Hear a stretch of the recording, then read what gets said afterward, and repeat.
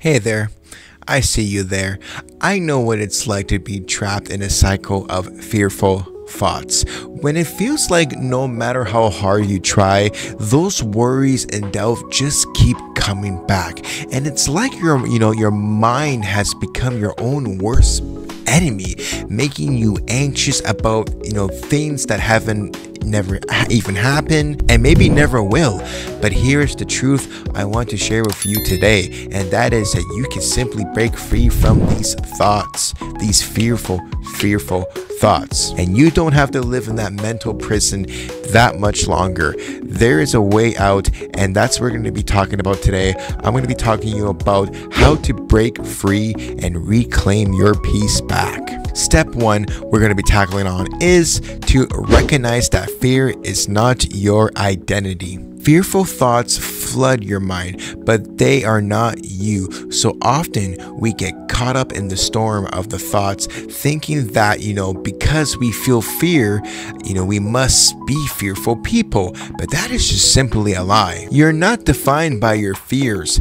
Those thoughts that, you know, tell you, oh, you're not good enough or, uh, oh, something bad is going to happen, those are lies. And it's important to separate who you are from what you feel.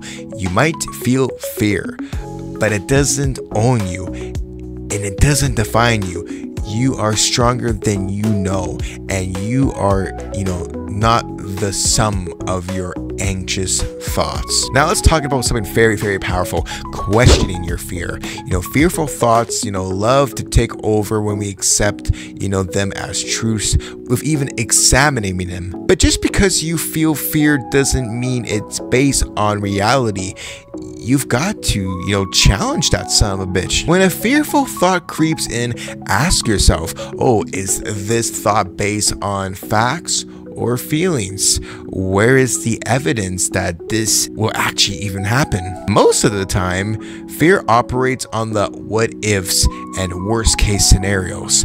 It paints a picture of things going wrong in your mind, but those things rarely even come true. Start questioning those thoughts. If you don't challenge them, they'll keep growing, but when you start to push them back and start to say, hey, wait a minute, where's the proof? Uh, what's the likelihood of this happening? You will find that fear begins to lose its power. The third step we're going to talk about is to shift your focus to the present. One of the sneakiest ways fear gets into our mind is by dragging us into the future. Fear is almost, you know, always about what might happen, not what's happening right now. And when you start, you know, protecting into the future, imagining all the things that could go wrong, we start to lose our peace. But here's the thing the future hasn't even happened yet. All we have is the present moment, and in this moment, you you're okay, I hope. You know, in this moment, I hope you are safe and you're breathing and you're you're here. When those fearful thoughts come rushing in like they're gonna go plant the bomb on B, I want you to take a deep breath, pause, and pull yourself back into the present and ask yourself, what's happening right now? Am I okay in this moment? You know, this simple act of grounding yourself in the present can bring such instant relief. It stops your mind from running wild in the what ifs and reminds you in the right now, in this moment, and you are okay. Step four, we're going to be talking about is to replace fear with truth. The next step to replace fearful thoughts is with truth. This is very crucial because fear loves to spread lives, uh, but you have the power to fill in your mind with the truth, and the truth is stronger than fear. You know, one of the, my favorite verses in the Bible is from 2 Timothy 1 to 7, and it says that, For God has not given us a spirit of fear, but of power and of love and of a sound mind. When fear starts to creep in, you got to remind yourself of the truth. You were created with power, with love, and a, with a sound mind. You know, fear is not from God and it's not part of who you were meant to be. Replace those fearful thoughts with the affirmations of truth. You know, start saying things like, I am strong, I am safe, I am capable. And when you start replacing fear with truth, your mind begins to shift and you start believing in the power that's within you, and the fear starts to lose its grip. The fifth and final step we're going to be tackling on is to let go of what you can't control. One of the hardest things is to let go of control. Fear loves to make us feel like, you know, if we don't worry, something bad will happen. It tricks us into thinking, believing, you know, that by uh, obsessing over a problem, we're somehow fixing it. But in reality, you know, most of the things we fear are things we ultimately can't control. There's freedom in learning to let go of what you can't control. That doesn't mean ignoring your problems or pretending like they don't exist. It means doing what you can and then releasing the rest. It means trusting that even when things feel uncertain, God is in control. That's the beautiful peace that comes, you know, from surrendering what's out of our hands and, you know, trusting that God's got it all. He's bigger than our fears. He's more powerful than the things that can make you anxious.